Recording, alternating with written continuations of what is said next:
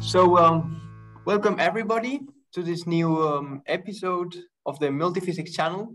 Today, we will address the question of heat and mass transfer modeling, and more precisely, uh, the analogy between these two physics phenomena and how we can exploit it. So, um, a few words about myself. I'm Alvaro Ramos. I will be your host today. I'm a mechanical engineering at the EPFL. Um, I mainly focused during my studies in applied physics in the field of fluid mechanics and uh, heat transfer. So here you can see some of some images of previous uh, experimental and uh, numerical projects. I really like mountain and hiking and two throughs, two throughs and one line by myself, a swimmer, never understood electricity and racing sports fan. But let's directly go into the topic of today. So the motivation, why we should care about heat and mass transfer. Actually, there's processes that happen all over nature and industry. And uh, here you can see two examples of them. One of them is drying of, in this case, fish in the North Europe. And also evaporation process in rain is important um, to understand uh, the atmospheric dynamics. But physically speaking, there are a lot of other physical phenomena associated with mass transfer, like natural convection, phase change, vapor pressure, air saturation, cooling associated to evaporation, and so on. But basically, all of that complex process that we give different names to them, they sum up to three different uh, conservation laws of momentum, energy, and mass. And that's my point today. So I would like to go a little bit deep, like the basis at least of how uh, the mass and heat transfer analogy is formulated. So I will need this group of equations. So why, let's go uh, to an example of, uh, of heat transfer and let's to do, try, try to do the mass transfer analogy and answer why this holds and why is this important. Uh, so you here see the case of a free flow on, uh, on a flat plate. And we see how, in this case, both uh, bond, momentum boundary layer and thermally thermal boundary layer developing, but actually they are not similar, although they are both boundary layers. Um, so this is basically a typical heat transfer problem where you have a heat exchange between the fluid flow and the, and the solid element um, through convection, right? So uh, the physical law that governs the heat transfer, we call it the Fourier law. The Fourier law is just basically uh, the gradient of a scalar, in this case, the temperature times the conductivity, which give us the heat flux. But actually, um, the mass flux is formulated in a very similar way. We just have the Fick's law, which expresses the gradient of a mass concentration times a diffusivity constant. Uh, also, not only the physical laws, but also the governing equations of temperature and or energy and um, mass concentrations are in a similar shape. Basically, both of them have an advection term, which expresses how the term how the temperature is transported by the flow. Another diffusion term, which expresses uh, which um, says how, how the temperature will diffuse by, by itself. And actually, the mass uh, mass transport equation has a really really similar shape in the case of the diffusion, um, in the case of alpha, the diffusion coefficient here, we don't have it, but we have something uh, at an analogous constant. So basically, we see that the physical laws formulated in the heat uh, and mass fluxes, and also the, the, the governing equations are the same. So what, that's why we say that heat and mass are transported and diffused in a similar way, which means that if we have a problem that's involving both processes, if we solve one of them, heat, for instance, heat uh, transport and diffusion, then we can uh, have an idea or we have quantitative values of how the mass will diffuse in this very specific problem. So in the end, we are reducing the complexity because we don't have to, through, to solve the three groups of equation, but just the fluid flow and the heat transfer problem. So in addition to this physical law I mentioned before, actually in engineering, we like to, to, simplify things a little bit to make it more practical. And instead of using physical laws, we have also the engineering laws, I call them, which is basically formulated this uh, heat flux as a constant times a temperature difference, which in the case I showed before the flat plate can be the temperature of the plane minus the temperature of the flow far away from it. So basically we have a convection coefficient, which is summarizes and simplifies uh, the geometry uh, complexity or the fluid flow complexity behind. And in fluid dynamics, we, like to do a lot is to simplify uh, um, in, to, um, to, make the things dimensionless. So we're taking this convection coefficient and times a specific characteristic length and the conductivity, we get the Nusselt number, which basically expressing the ratio between the heat transfer by convection and the heat transfer by conduction. Um, so one thing we can do when we have the Nusselt number is taking the idea, as just mentioned before, the heat and mass transfer and diffuse in a similar way, is to make this Nusselt number equal to Sherwood number. The Sherwood number is having also, hiding also in a dimensionless way, the, the mass um, convection coefficient. So we can say the Nusselt number is equal to the Sherwood number that's that's that's more or less what what I just said before, but instead of words written in dimensionless number.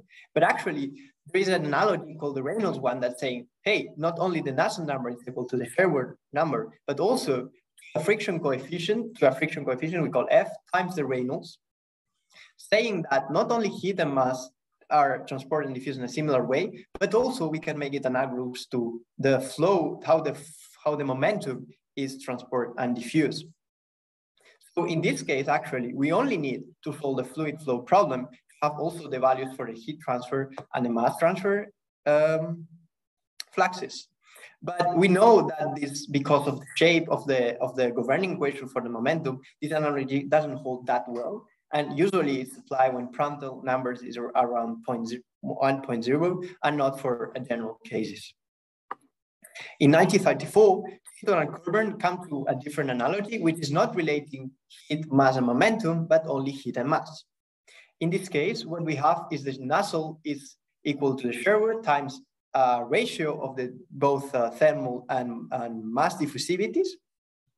So what we have here is that to calculate the Sherwood number, we need the Nusselt number. And to calculate the Nusselt number, we need at least to solve the heat transfer problem and the fluid flow problem. Note that in the Reynolds analogy, we have what we just need to solve one of them. So here I will show an example of how this heat and mass transfer analogy can be used in practical purposes and uh, how it's a little bit the procedure. So here you can see um, a case where I set a 3D pipe.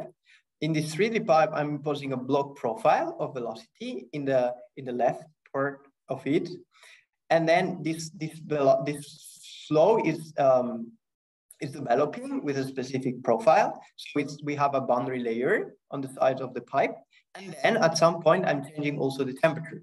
So in addition to the momentum boundary layer, we have a thermal boundary layer.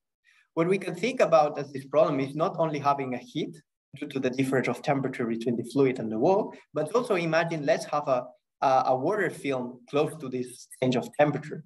So that means that we will have momentum to model, the fluid flow, we'll have also the temperature to model, so the heat exchange, and also the mass.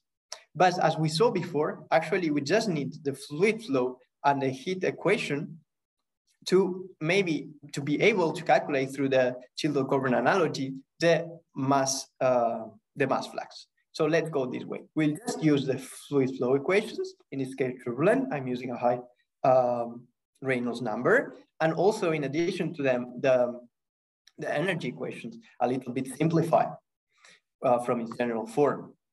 So the goal is to, to use both of them to calculate the Nusselt number through the heat, the, heat flux, which is going to be calculated using the Fourier law, and then to calculate the shear Sherwood using the heat transfer analogy, the mass and heat transfer analogy.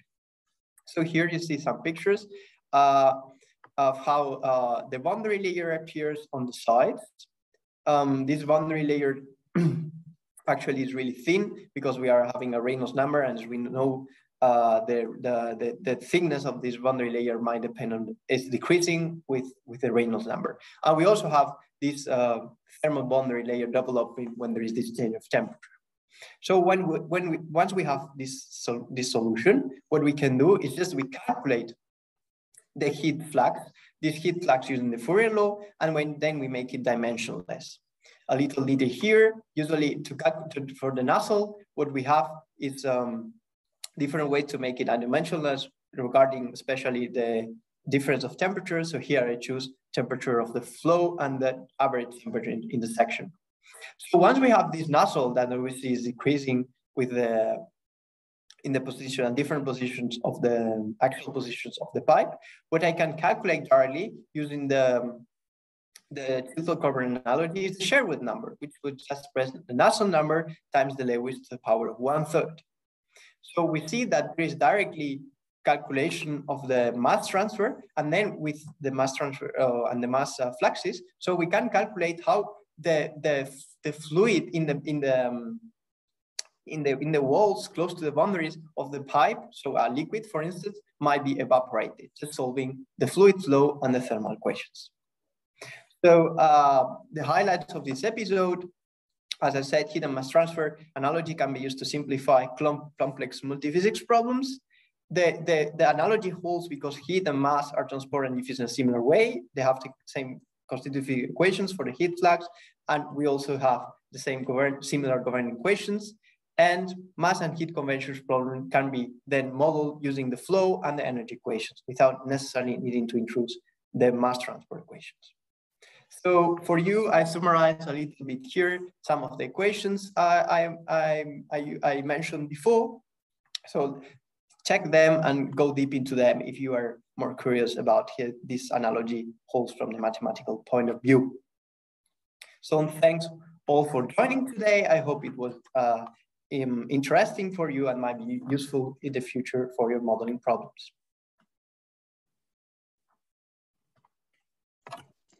Thank you very much for the presentation, Alvaro. I have actually a question about limits. Do you know if this uh, analogy, it seems quite useful to avoid difficult calculations involving mass transfer. But is there some limitations where, for example, I cannot use this analogy? Yes, so uh, actually in the paper of Chilton-Colburn, um, one of the, the, the limitations then mentioned is when we say there is a there is a resistance in the, in the mass transfer. So actually the analogy was proved experimental when they had a, a hot flow that's uh, going through a pipe and the, the liquid surrounding the pipe, it's, uh, it's cold. So the heat removed from the, from the, from the air is used to evaporate the, the liquid. But we also can think of different problems where we, we are blowing uh, air, which is not hot compared to the water, then we will have uh, a resistance um, in the in the interface between the air and the fluid, and then the analogy will not hold, will not really hold because we have a resistance in this uh, in this interface between the air and the liquid. Mm -hmm.